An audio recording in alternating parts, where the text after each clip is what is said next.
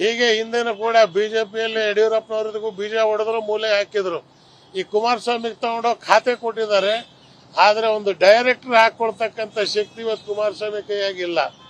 ಭದ್ರಾವತಿ ಹೋದ್ರು, steel works ನಾನು organise ಮಾಡ್ತೀನಿ, ಪುನರ್ಸ್ಮರಣ ಮಾಡ್ತೀನಿ.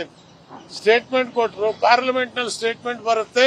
ಇಲ್ಲ, ಆ ರಾಜ್ಯ ಮಂತ್ರಿ, ಸ್ಟೀಲ್ ಮಂತ್ರಿ ಹೇಳ್ತಾರೆ ನಾವು ಇದನ್ನ ಮುಚ್ಚಕ್ಕೆ ತೀರ್ಮಾನ ಮಾಡಿದ್ದೇವೆ ಅಂತ. ಏನು ವಿಪರ್ಯಾಸ ಇದು? ಅಂದ್ರೆ ರಾಜ್ಯದ ಭಾರತ ದೇಶದ ಮಂತ್ರಿಗಳಿಗೆ ಏನಾದರೂ ಎಳ್ಳಿಷ್ಟು ಗೌರವ ಏನಾದರೂ ಉಳಿದಿದೆ ಇವತ್ತಿನ ದಿವಸ? ಇಲ್ಲ. ಅದೇನೇ ಇರಲಿ, ಕರ್ನಾಟಕ ರಾಜ್ಯದಲ್ಲಿ ನಾವು ಇವತ್ತು ಇದನ್ನ ಮುಂದೆ ನಾಳೆ ಹೈಕೋರ್ಟ್ನಲ್ಲಿ ಕೂಡ ಚಾಲೆಂಜ್ ಆಗ್ತಾ ಇದೆ ಇದು.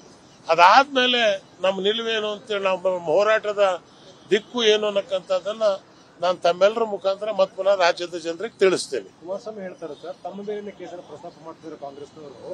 ಸುಪ್ರೀಂ ಕೋರ್ಟ್ ಹೋಗ್ಲಿ ಹೋರಾಟ ಮಾಡಿ ಸುಪ್ರೀಂ ಕೋರ್ಟ್ ಹೋಗ್ಲಿ ಈ ಸುಪ್ರೀಂ ಕೋರ್ಟ್ ಹೋಗಕ್ಕೆ ಇವ್ರು ಹೇಳ್ತಾರೆ ರಾಜ್ಯಪಾಲ್ ಇವ್ರ ಮನೆ ಕ್ಲರ್ಕ. ರಾಜ್ಯಪಾಲರಿಗೆ ಹೇಳ್ಬಾರ್ದು ಹೌದು ನನ್ನ ಮೇಲೆ ಧೈರ್ಯ ಇದ್ರೆ ನನ್ನ ಮೇಲೆ ಕೊಡಿ ಅಂತ ರಾಜ್ಯಪಾಲರಿಗೆ ಹೇಳ್ಬಾರ್ದಾಗಿತ್ತ? ಇಪ್ಪತ್ತೆರಡನೇ ತಾರೀಕಿಗೆ ಲೆಟರ್ ಹೋಗುತ್ತೆ ಇಪ್ಪತ್ತ್ ಮೂರನೇ ತಾರೀಕಿಗೆ ಇವರು ಹೋಗಿ ಅಮಿತ್ ಶಾ ಮನೇಲಿ ಕೂತ್ಕೋತಾರೆ ಅಪ್ಪ ಮಗ. ಅಂದ್ರೆ ರಾಜ್ಯಪಾಲರಿಗೆ ಗೊತ್ತಿರ್ಲಿಲ್ವಾ? ವಿವಚನೆ ಇರಲಿಲ್ವಾ? ಯಾಕೆ? ಸುಪ್ರೀಂ ಕೋರ್ಟ್ ಯಾಕೆ ಹೋಗ್ಬೇಕು? ಇದನ್ನು ಕೂಡ ರಾಜ್ಯಪಾಲರು ಹೇಳ್ಬೋದಾಯ್ತಲ್ಲ, ಅಬ್ರಾಹಿಮಿಗೆ ಸುಪ್ರೀಂ ಕೋರ್ಟ್ ನೀನು ಹೋಗು ಅಂತ. ಮತ್ತೆ ಇಲ್ಲಿ ಪಾದಯಾತ್ರೆ ಯಾಕೆ ಮಾಡಿದ್ರು ಇವರು? ಅರೆ, ನೀವು ಬಸ್ ಸ್ಟ್ಯಾಂಡ್ ಬಸವೇರೇ ಇವತ್ತು ನಮಗೆ ಪತಿವರ್ತೆ ಪಾಠ ಹೇಳ್ಕೊಡ್ತಾ ಇದಾರ? ಯಾರು ಇವರು? ಇವ್ರ ಮೇಲೆ ಎಷ್ಟು ಪ್ರಕರಣಗಳಿದಾವೆ? ಇದನ್ನ ಕುಮಾರಸ್ವಾಮಿ ಅವರು ಏನ್ ಹೇಳ್ತಾರೆ, ಏನ್ ನನಗೆ ಗೊತ್ತಿದೆ? ಇವೆಲ್ಲ ನಾನು ಹಳೆ ಭೂಕೈಲಾಸ ನಾಟಕ ಬರ್ದವ್ ನಾನು. ನನ್ನ ಎದುರಿಗೆ ಇವು ಯಾವುದು ನಡೆಯಲ್ಲ, ಒಂದೊಂದಾಗ, ಒಂದೊಂದಾಗಿ ನಾನೇ ತೆಗೆದಿಡ್ತೀನಿ.